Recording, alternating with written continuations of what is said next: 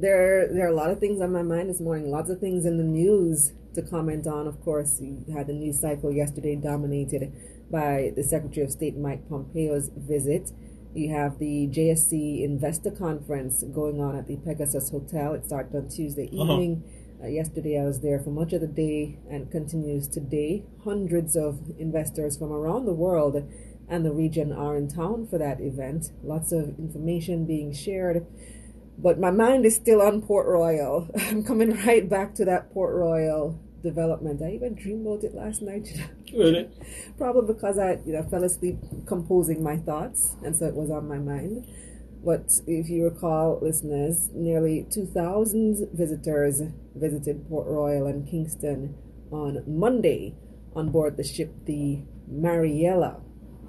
And like I told you on Monday, I really wanted to go on to go, you know, fast and see what the place looks like. But I said, hold on, Kalilah, you're a big belly, just sit down and relax for a bit. It's not going anywhere. You'll get another opportunity to see what the place looks like. Uh-huh. But on TV, it looks very impressive. It does, it does. And I'm very happy about that. Even though this is it's said to be not entirely finished, and the visit on Monday is also said to be kind of like a test run. So Uh-huh. they're not starting regular regular visits just yet. Having seen other cruise ports in the region, I can tell you Port Royal has something very special, and that's heritage, because many of the other ports are rather generic.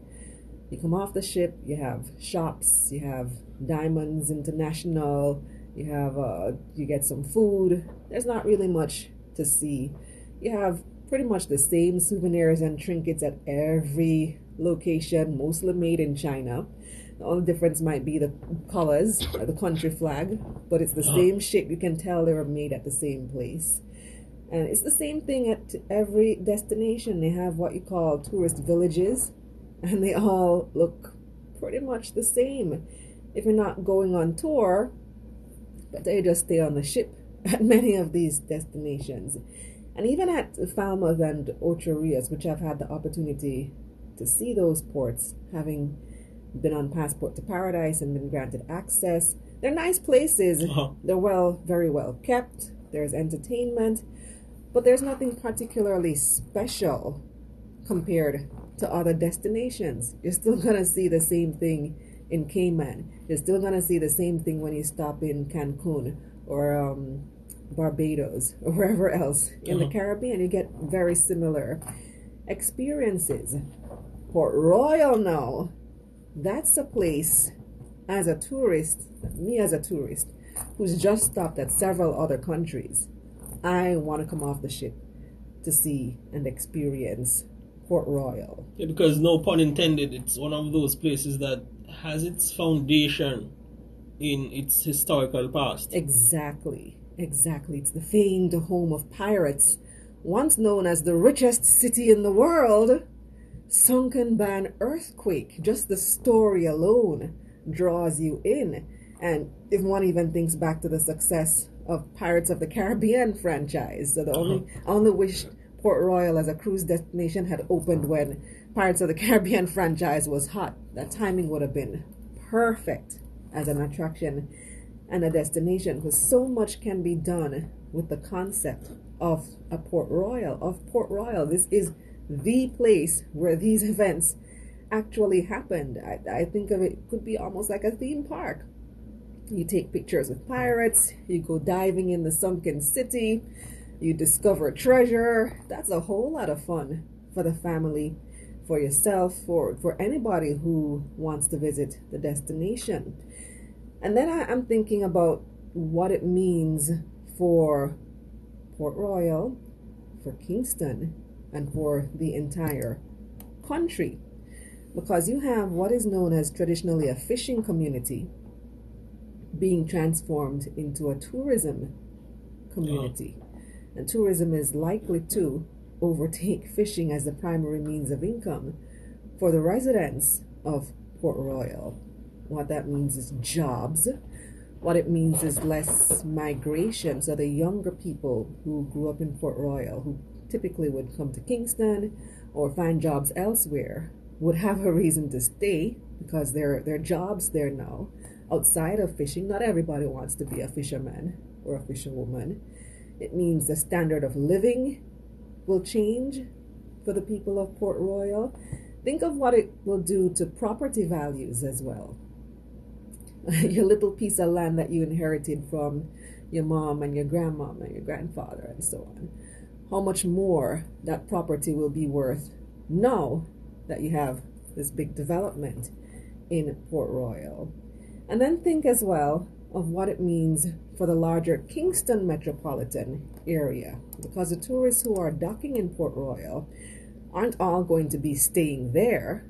Some of them are going to go, many of them are going to go on tours across the Kingston metropolitan area. So for us, ABCA, we can expect to see many more bus tours passing through town. We can expect to see a lot more activity in destinations here in town, such as you have popular ones like Trenchtown is very popular, uh, the Bob Marley Museum, Devon House. So think crowds as well. It's going to be crowded.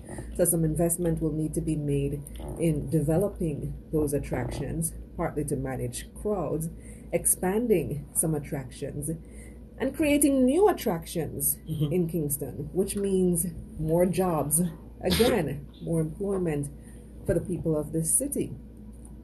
Think about things like regular cultural shows at Emancipation Park, mm-hmm. because you would have seen where the tourists who came on Monday were feted at Emancipation Park. I took my parents there over the Christmas holiday. There was no event going on, they just wanted to go and see Emancipation Park.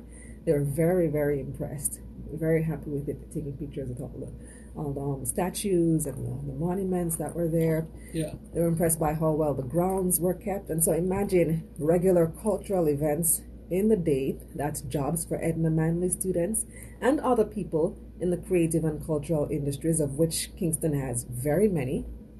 You see, sometimes you have these major developments and big business enters the space and the so-called small man and woman are shut out.